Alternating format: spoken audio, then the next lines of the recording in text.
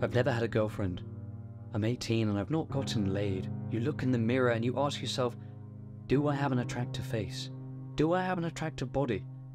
And if not, how can I? How can I have an attractive face? You ask yourself this even though you do the habits such as sleep in until midday. You eat the junk food, you don't exercise, and with the moment you see any sort of fit, attractive lady on the internet, you just spontaneously bust. You do all of this, yet you wonder why you're not attractive. If you just related to anything I just said, this video can literally change your life. I'm gonna go through five key points, and each one kind of uh, relate to one another, so stick to the end because all of them are significantly important. Each one will significantly have a big impact on your life. I'll go through this as quickly as possible since you probably have a really shit attention span. You probably have a terrible attention span. If you can't get to the end of this video, then you have a dog shit attention span. So I'll go through this as quickly as possible, starting with the first point, get a haircut. Okay, one, you want to stop doing all the bad habits that you're doing. If you haven't had a haircut in months, you haven't cut that beard in literally forever, get a haircut. And you might you might be like me. What I would have said is, oh, but I'm growing out my hair. I want to look like you know those buff, long-haired guys at the gym, like Aquaman and stuff. I don't know who the actor for Aquaman is, but you want to look like them, bro. Do you think they don't have haircuts? Yeah, of course they have haircuts. They just go to like specifically like barbers that are specified for long hair for guys so they specify for cutting long guys' hairs. So you go up to them and you can just be like, oh, can I have a scissor cut, taper, just make it a little bit more tidy. A middle part, I, I still like the long hair look. And they'll be like, yeah, 100%, we specify in that. And they'll do just a scissor cut. And it just makes it look more tidy. Not only that, but 90% of guys have proven and said that after they've gotten a haircut, they feel so, so much more confident and I wasn't, I, I didn't know if I believed this, so I recently got a haircut. Right, recently got a haircut just to prove this fact. Holy shit, it's true.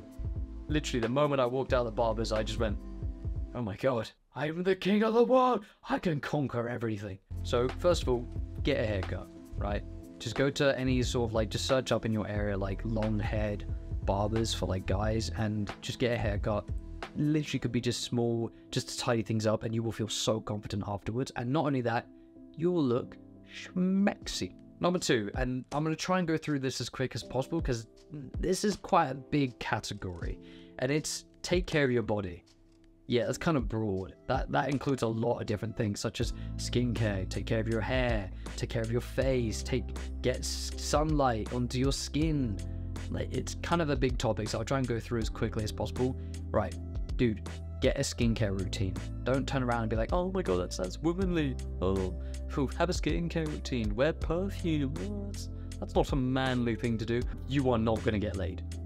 If you think going up to a woman, having acne, terrible skin, greasy skin, greasy hair, you smell like shit, you think that you're going to get laid. Yeah, but it's manly. Well, okay, it could be manly, but you're not getting laid. So, look, literally, this stuff is like proven to be beneficial in like being attractive, right? Get a skincare routine. First of all, just test out what skin type you have. You either have oily, dry, or combined. And the best way to do this is just get like a thin piece of tissue paper and just dab it on like the sides of your face. If the tissue paper comes out oily or dry, that's what you have, oily or dry. And if you have combined, then like parts of your face will be dry, parts of your face will be oily. And then just buy products for that so buy like buy any sort of like face wash for when you're in the shower. The your best bet is just to go for charcoal ones. That's what I have, and get like a silicone scrubber. Doesn't really matter, but a silicone scrubber would be best because it cleans your face the best. That we can just use your hands.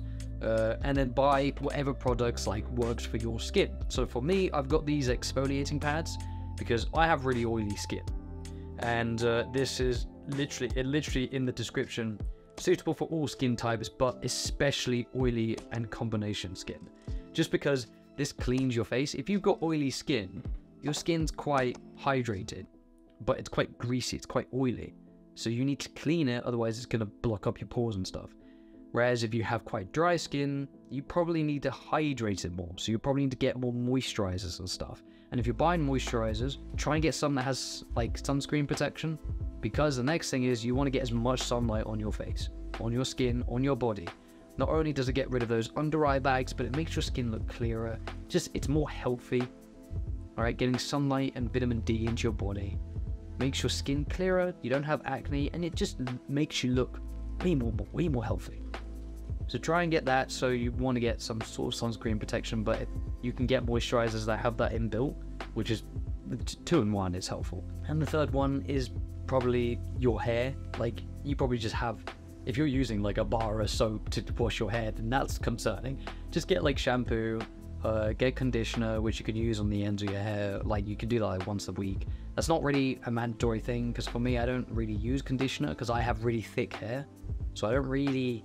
Actually, that means I need it more, but I don't really need it. Like I shampoo my hair, but what is helpful is knowing what products to use for your hair. If you have really, really thin hair, then you probably want a sort of like gel or pomade, like any sort of hair product that gives your hair a little bit more thickness. Probably powder is probably one of the best ones you could get for that. That give you a little bit more thickness. For me, I've got very straight hair, very thick Asian straight hair, so I need something that gives it a little bit more texture. Otherwise, my hair just looks floppy.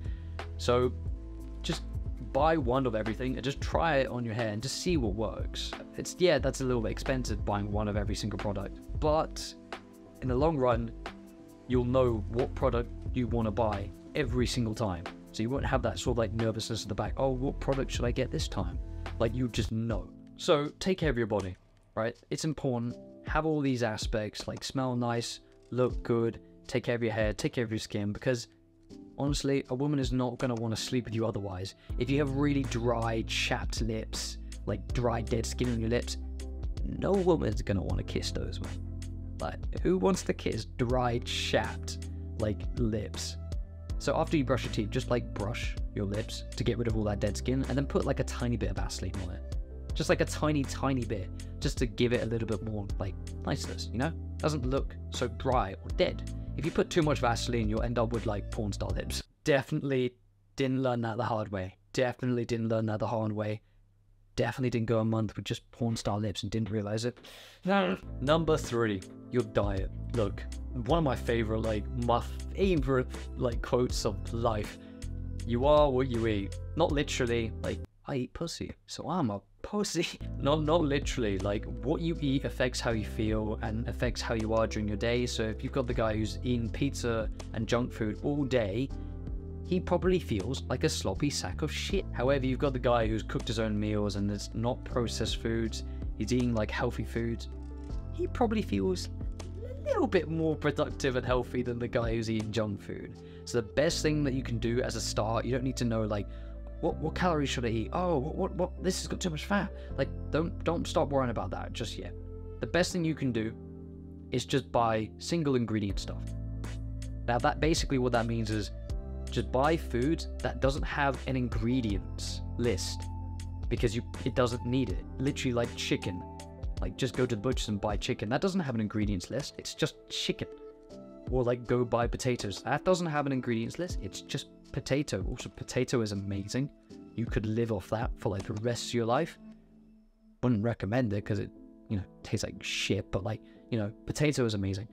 Uh, love myself a spud and all like just buy like carrots. Right, that hasn't got ingredients, it's just carrots. And then just cook all of this together. That's a meal. Chicken, potato, carrots, season it. That's it. You've got a full, good, delicious meal there. And it's none of that is processed.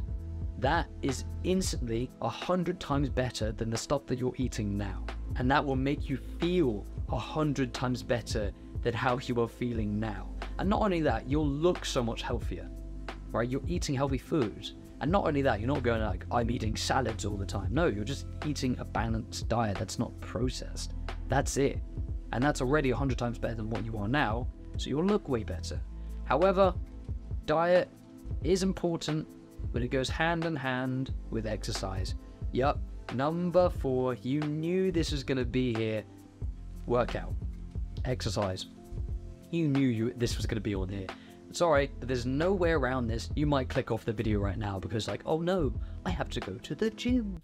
But you might instantly click off and because you have a terrible attention span as well. Look, there is no way around this, and I cannot tell you the amount of benefits that it comes with from working out. But I'm going to. Honestly, working out, not only do you feel more confident in yourself, in your body, if you start doing like, you know, you start fighting, you start doing uh, mixed martial arts, you start going to the gym, you feel so confident in your body, you walk with your shoulders back, you just feel confident in every stride. Not only do you look better from starting to go to the gym, lift weights, exercise, it affects your jawline.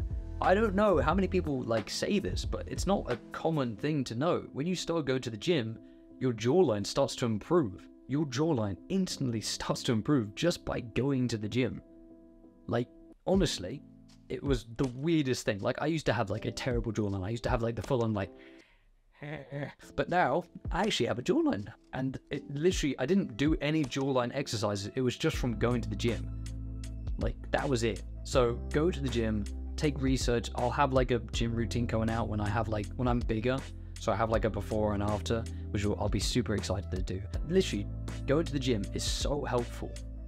Look, if you want to look good in clothes, you gotta look good naked first. That sounded really pervy, fuck. And that leads on to my fifth point. Clothes. Look, I'm not talking about like, you don't need to go out and start buying like designer shit, Gucci, ooh, I need to get all these like, super expensive designer stuff mate, you have not got the money for that. we do not have the money to buy thousand pounds of just clothes. Like I saw, I, I recently went into a store to like buy nice clothes, and there it was over two grand for a bloody jacket. What? Over two grand for a jacket? I don't have the money for that. Honestly, don't go out and buy the most ridiculously expensive clothes. Just buy the best quality of what you're wearing now. Okay, so there are some clothes that like you look better in for guys. Some guys look just absolutely sexy in a suit. Actually, every guy does. It's a suit. Suits are fucking awesome. Like some guys look better in gym clothes. Some guys look better in like uh, suits. Obviously, wear what you're comfortable with. And if you are like going to the gym, you're starting to get bigger, then you look good in everything. Like, like I said, if you want to look good in clothes, look good naked first. Still really pervy when I say that but just buy the best quality stuff of what you're wearing. So like if you're into gym stuff, don't wear that skanky hoodie or those skanky joggers. Just buy a nice, like tighter, like gym shirt. You know, buy nicer jeans, nicer joggers. Like buy good quality stuff. Not only does this make you feel so much more confident in yourself, it makes you look so much better than you are before. If you're wearing like the most grubby stuff, then obviously that's not attractive. Just you don't need to go out and like spend hundreds of thousands of pounds. I don't know. Just buy nice quality stuff. Like just go out and just be like, oh, okay. Just go out to a store and just feel the quality of the clothes, and you're like, oh, okay. This isn't ridiculously expensive, but it's good quality. You know, so I I can wear this for confidence, and if I get dirty, then it's, I don't know. I don't know. I haven't wasted 500 pounds on a single bloody jacket, and that's it. Look, I love self improvement so much because like self improvement, the idea of it is just improving yourself, just becoming the best version of yourself. And this means improving yourself in every aspect of your life your mental health, your physical health, you're financially free. You look, you pay attention to how you look, so you start improving it. Maybe that's the step out you right now. Maybe you've been going to the gym. Maybe you've been working on that uh, business so you can be financially free. Maybe you've been working on your mental health. Maybe the next thing you need to work out is how you look. You know, see how you can improve how you look, how to make yourself look more attractive for others. It's a natural thing to want to improve your aspects of life. It's why we go on video games, because we like the sense of progress, right? Hey, dude, I used to game all the fucking time. I love the sense of progress. But now I'm just leveling up my life attributes and becoming sexy rather than being a nerd. Like, you want to improve every aspect of your life because if you have, like, things like if you have a chain that's like one link is a piece of string, if you pull on that chain, it's going to break instantly. So you, you're only as strong as your weakest link. So you want to improve every aspect. So yeah. Anyway, hopefully this helped you out. If you're on self improvement, you got this, bro. I believe in you. Now you just got to believe in you. Anyway, Anyway, stay consistent. Do the best you can. Love you, bro. Mwah. Ooh, I am gonna make myself some dinner. And if I just look at my script, point number three: have a good diet. So I am having chicken, potatoes, and broccoli. Oh, and none of it's processed. I'm gonna eat this, and I'm gonna sleep like a little baby.